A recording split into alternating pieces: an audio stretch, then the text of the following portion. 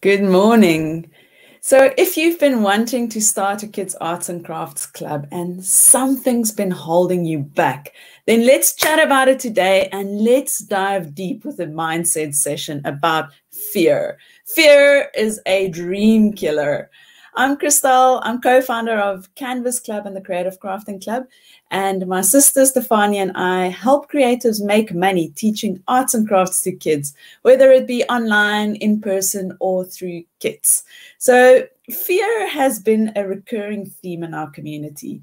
Um, let me know in the comments who's watching, where you're watching from, and then also let me know what are you fearful of?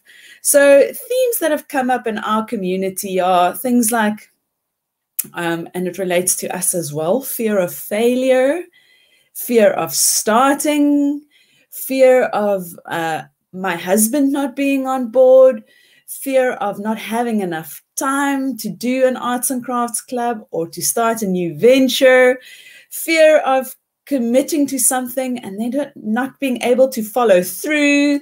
Um, hi, Kirsty fear of losing money. There are so many fears. I mean, if you start thinking about it, you can just, the list will go on and on and on. Let me know what you are fearful of. So, guess what? Everyone feels afraid. Everyone feels afraid, even famous artists, even famous movie stars. I often look at movie stars and then I think, how can they have normal lives? How can they have kids and be famous and run these big careers? And not be overwhelmed. And but guess what? Everyone feels afraid even top athletes even ceos i mean can you imagine how scared elon musk must, feel every time a rocket shoots in the air? I mean he must be so fearful. Um, every person you know and admire they all experience fear on a regular basis because it's human. It's human to be fearful um, hi, Shaz. Hello, Stefanie. So let me know what you are fearful of. I see Kirsty says feel fear of failure. I'm I'm so relating to that, Kirsty. But this begs the question. So why is it that fear sometimes paralyzes people while others are actually able to move through it. I know that Kirsty has moved moved through her fears because she's joined the Creative Crafting Club and she's setting up her kids crafting club. And a massive shout out to you, Kirsty, for moving through your fears and taking that first step.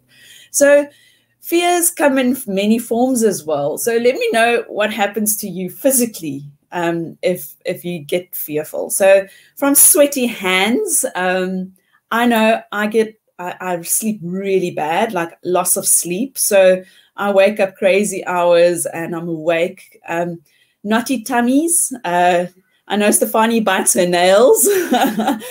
um, I've even heard uh, somebody, my husband said, um, he heard of somebody who whose fingertips get numb. Um, and then I know of a family member who gets panic attacks. Uh, let me know how does your body respond to fear? Um, so fear will will be with you as long as you are alive, and we're going to just have to accept that. Um, it doesn't matter how much experience, success, or even fame you acquire, you will always feel fear. So don't have this illusion that one day you're going to wake up without fear, and now you're going to think, "Oh, I'm ready." That's not how it works. Kirsty, share your journey. How did it work for you? How did you break through that fear when you decided to start your club? Okay, so let's chat about um, what we are fearful of. So Kirsty says definitely tummy knots and voice tremors. Yes. Um, I know of a team member of ours as well that gets voice tremors. And um, I know of a friend who actually, if she goes live, she gets um, spots, red spots on her neck. So, but you know what? People relate to to to relate to things like that because it's human, and they also experience their own fears and their own ways that their bodies react to fear. So, it's great to show that vulnerability as well because it's relatable. Um, embrace fear motivates me to push harder. Absolutely, Kirsty. Okay, so let's chat about what we are fearful of. So, for me, my biggest fear at the moment, and that's the other dreaded F word beyond fear, is fertility. So, my hands are actually sweating and my body is trembling when I just say that word out loud um, it's an enormous and a gigantic fear that I personally struggle with. And um, a friend of mine, a very close friend of mine who has struggled with this same journey before, she said to me, just focus on your very next step. Because for me, the first thing that I want to do is I just want to freeze. I want to like freeze. I don't want to deal with it. I don't want to like do anything. And she said to me, just focus on your very next step. So, what are you fearful of? I see that there's some comments popping up. I'll read them now. So, in recent posts in our posts in our um, Creative Crafting Club um, members community. These are all Arts and Crafts Crafting Club owners. Um, that I've that I saw was um, I saw a post on um, a member being fearful of posting her Facebook business page um, and her tummy knotted up, and then another member shared that um, she was fearful to have the difficult conversation with the boss to uh, just cut off one day a week um, so that she could make time for her kids crafting club and could host, could host classes one day a week. And that made her squirm.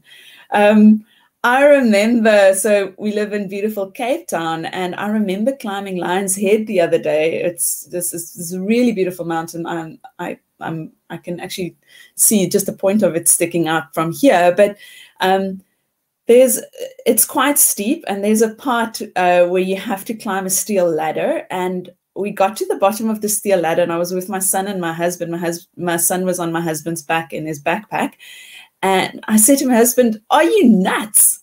There's no ways I'm doing that. I'm too old for that. And then he said, Well, he's going to climb up there with Henry on his back. And then I said, No, you can't take Henry. He's too young. And then my husband said, What? You're too old. Henry's too young. like, who is this for then? I mean, it was so funny. But the result was that my husband gave me the nudge. He gave me the nudge to take action. So what happened was I got out of my comfort zone and growth occurred. Um, and let me know if you want me to share a pic of our incredible view when we got to the top. It was the most rewarding experience and it was absolutely beautiful. Um, so Shaz says, yeah, I get sweaty palms. I ramble on when uh, talking and some other things. Absolutely relatable. Um, let me think of another example. So recently, um, actually this week, my husband uh, and their company, uh, they did a potty, pottery painting class um, as an event, as a team building event. And my husband's very strong, and it always he comes across as not having many fears. And he shared with me that evening, he said, Oh, he painted this really beautiful bowl for me for, for Mother's Day.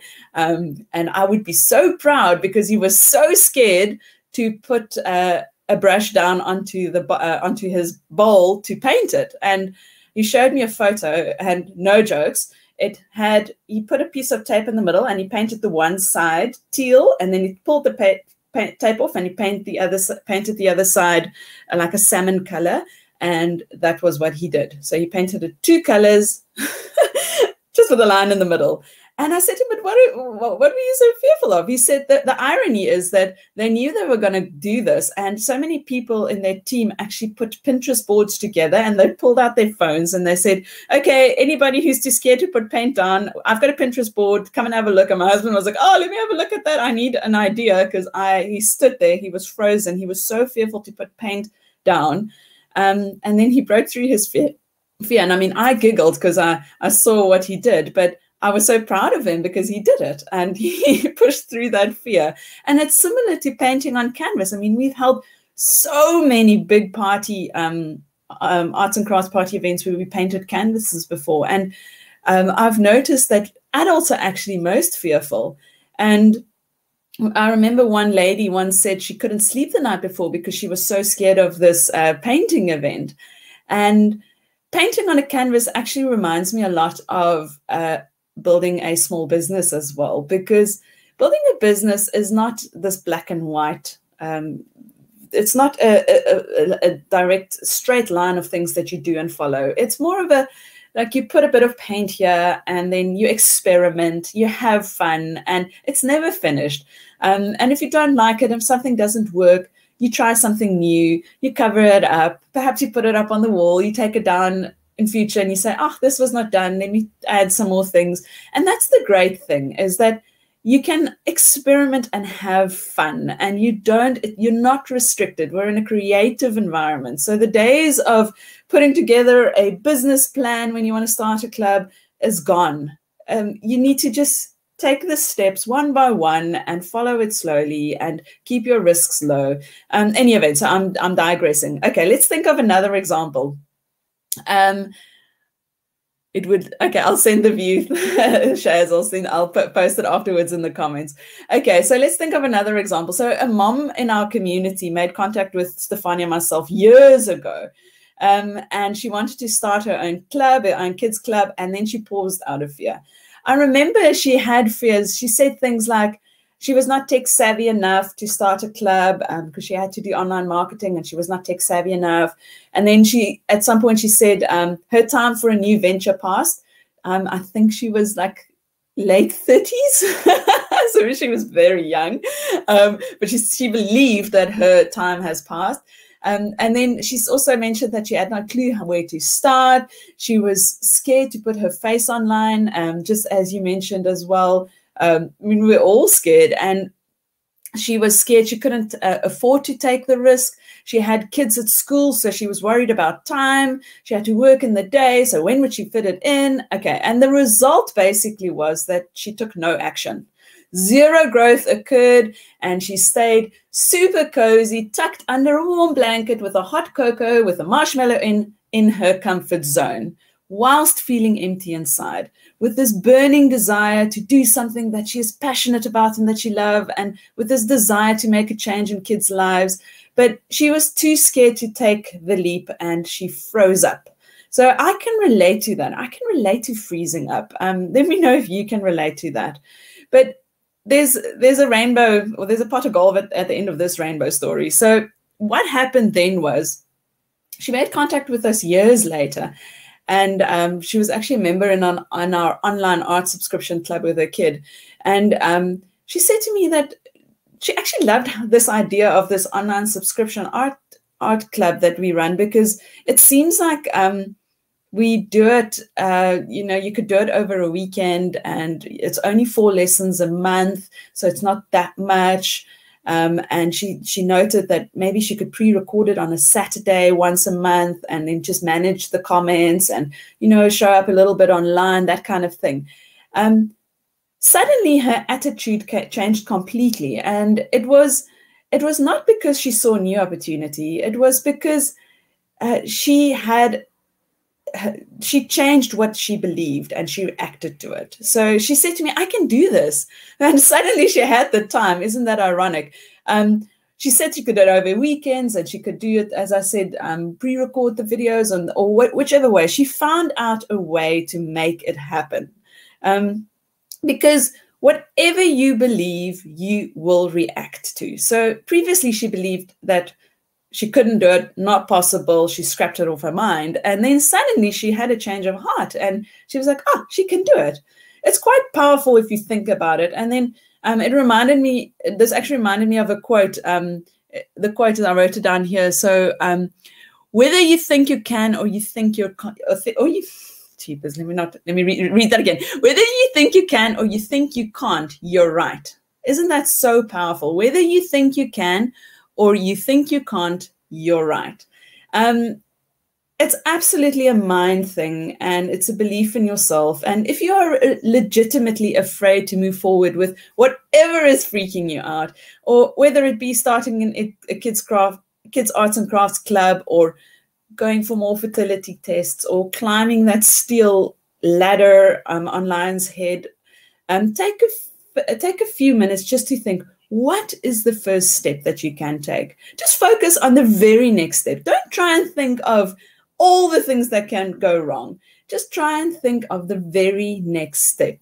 Okay, let me know if this is relatable to you. And um, if you are still not convinced um, and that you can break through your fears, then I'm going to just quickly share an exercise um, that Marie Forleo shared.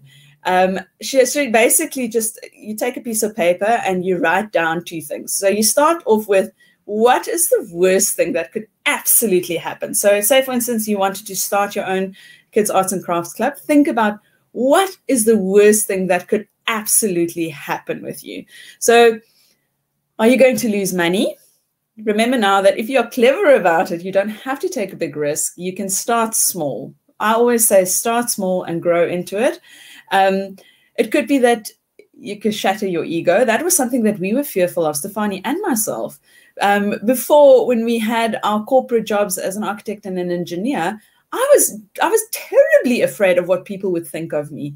Um, you know what the joke is? When when we started our kids' um, arts and crafts club, I started running classes um, in a local church just the hall, and I remember being so hush about it. I did not share that I was doing it with friends because for me it was a passion project at that stage, and I I was just so worried what people would think of me. And then when I realized that I was actually de- desperately in love with this new venture of mine, um, and when Stefanie joined in, I realized that, you know what?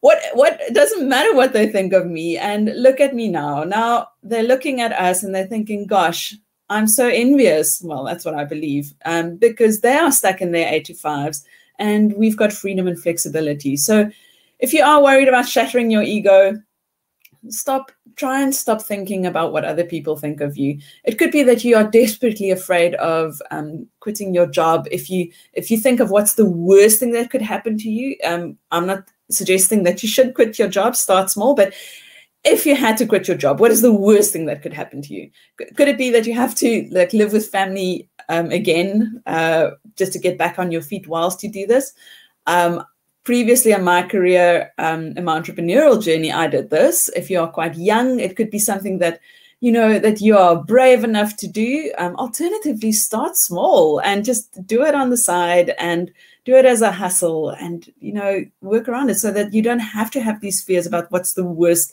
what the worst thing is that you could that could happen to you okay now let's turn that exercise around and think about what is the best thing that could happen Okay, so share in the comments what do you think could be the best thing that could happen to you? So, for those who've taken the leap, um, I can see the members in the community that's popped up. Um, for those who've taken the leap, what is the best thing that has happened to you? What has it made possible for you starting your own club?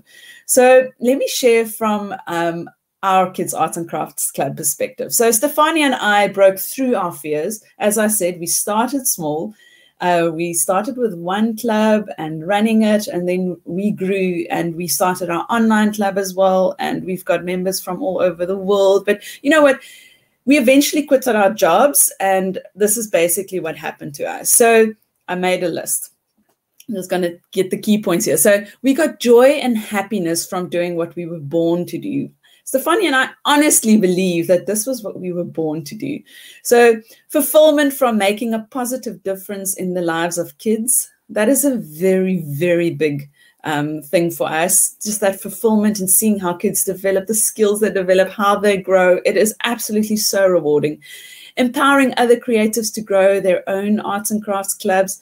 So, um, absolutely rewarding, absolutely amazing. Financial freedom for us um, having the recurring income every month, um, just getting that financial freedom that weren't there before. And then freedom to live anywhere we want. Um, okay, so you don't you didn't know this, but some of you may have. But um, we have a very big online component, and whilst uh, Lily and I were running our studio classes, Stefanie was running all the online things, and she actually lived on a tropical island for 10 months last year. She moved to a tropical island with her husband, and they lived right on the beach. And they just did it because it was fun. So freedom to live anywhere you want. If you go, if you're going with the online route, then you get these kind of kind of new um, things that happens in your life that you could never have dreamed of. So travel and adventure. Um, okay, and then the other thing I wanted to note is like with our online component where we teach online um, our online art club membership, and also our online membership where we teach other creatives how to start and grow their own kids crafting clubs. Um, the great thing about the online um, the online model is that we suddenly have a global market. So with our in-person classes, we were restricted to Cape Town and surrounds, um, and we are still restricted. And you don't need uh, 300 kids to come through your door every week. You only need whatever your ambitions are, you only need 20 or 100 a week, um, and you could have an incredibly booming business. So, whatever you are after and whatever excites you, but for us, having that, that online component as well has opened up a global market for us. And we have members in over 15 countries. Um, and that is remarkable. I mean, I get so excited when I hear different accents, um, Scottish accents and British accents and American accents and our South African accents. I mean, it's it's just incredible. It's incredibly rewarding. And then um, for us, nonstop learning, growth, and creativity is fundamental to what what makes us tick. So that has been absolutely amazing. One of the best things that has, happened to us living a regret free life that was one please let me know as well what would be the best thing um just let me know in the comments what would be the best thing for you um so living a regret free life so previously as an architect i remember waking up in the mornings very early putting in the hard graft sitting in front of my computer going to site the world i almost perceived the world as gray i did not see a lot of color um, I came back late at night only to like work again. It was long hours.